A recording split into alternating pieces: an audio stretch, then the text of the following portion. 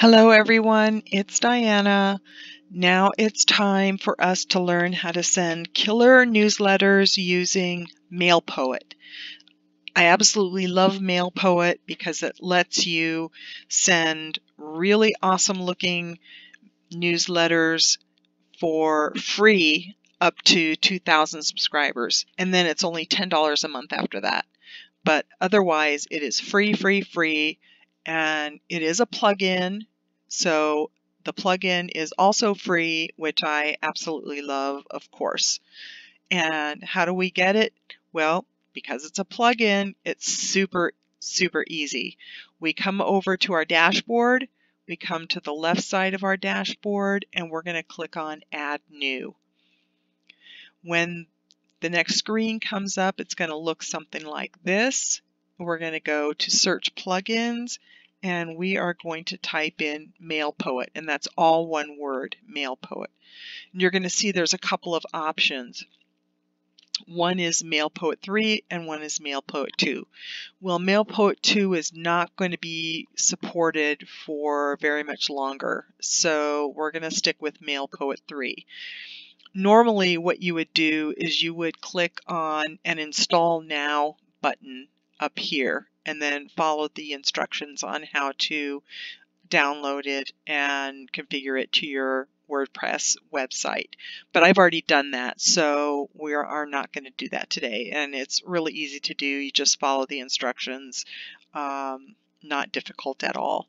So we are going to run right over here to our sidebar of our dashboard and we're going to click on MailPoet. And when you do that, you are going to default onto the newsletter page. So we are going to click up here to add new and then newsletter and we are going to create a brand new newsletter. And you will see from looking at this that there are a number of pre-designed newsletters that you can choose from that you can edit to make it consistent with your own website or what you want to express yourself. But today I'm not going to pick one of these pre-designed ones. I'm going to start with the newsletter blank one column. Um, it is a blank newsletter that you can configure for yourself.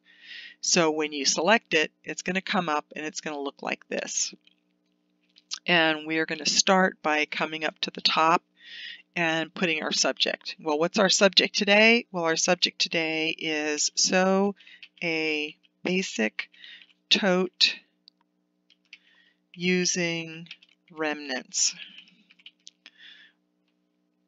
Really easy. Now we want to click our logo. Um, we can't just have logo there, so we're going to come over to the right. We're going to click on select another image and our entire WordPress image uh, library, media library is going to come up. I'm going to search my media library because I happen to know that the image that I'm looking for is called header. And there it is. We're going to select that image and it's going to insert and right at the top I have my Sew Very Crafty and it's in the exact font and colors as my website so that my branding is consistent throughout everything that I'm doing. So now that we've done that, we want to get to the body of our newsletter. Here we don't want to get started, but we're going to start out by dragging with our left click on our mouse and we are going to submit an image. And again, all of our images from our WordPress media library come up so we can pick which ones we want. I'm going to select this one and it's going to be inserted right into my newsletter. And this particular image was an image that I used, um, that I created using PicMonkey. And we have discussed a lot um, in this course about PicMonkey and how useful it is to creating images for social media and other things like newsletters. And this particular image was one that I created for Facebook. And so it fits perfectly into my newsletter. Next, we have the Get Started section, but I think rather than doing that, we're going to put a line. So we're going to take this divider symbol and we're going to bring it right there. And that's going to give us a line between our image and what our text is going to be. So the next thing we're going to do is we're going to delete everything in this box because we don't need it and we're going to choose this little trash can here and we're going to delete that and make it go away. Now we are going to take the text box, click and drag it, and we're going to put it right there. And you can see where it says edit this text. And so that's what we're going to do. We are going to edit this text by clicking in the box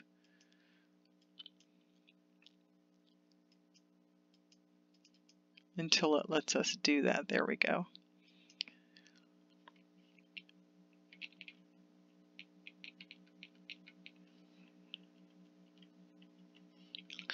Now we can add our text for our newsletter. And so what are we going to say? Well, let's start by saying here is the latest post from Sew Very Crafty.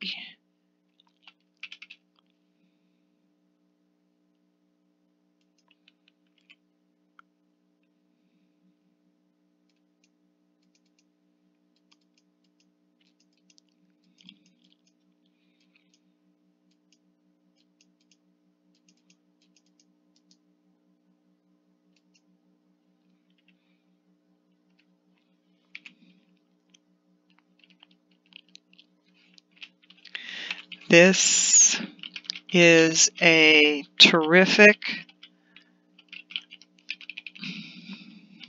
and easy to sew everyday tote bag with a lining that is made totally from remnants and a little standard strapping.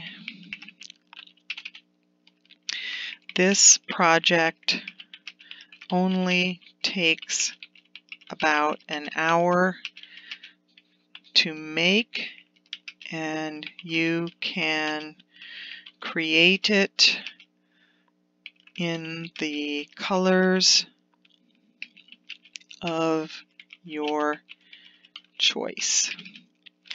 This post has a complete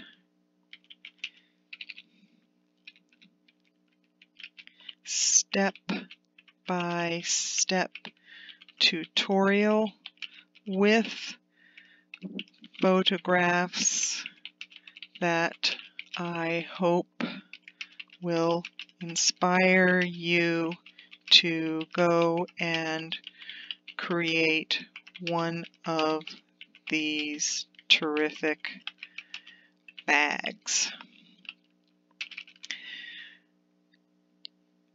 Head over to Sew Very crafty and let me know how you fared. And that's it. That's our newsletter. So the next thing that we do, now that we have all of our fields completed, is we hit next. And up comes a list we select our list that we want to, and mine is called My First List. The sender is sew very crafty. We're going to change this to Diana at soverycrafty.com. Pry to Diana at soverycrafty.com. And then we can save the draft and close it, or we can send it now. I don't want to send it right now, so I am going to save this draft and close it, and I can come back to it when I'm ready to send it again.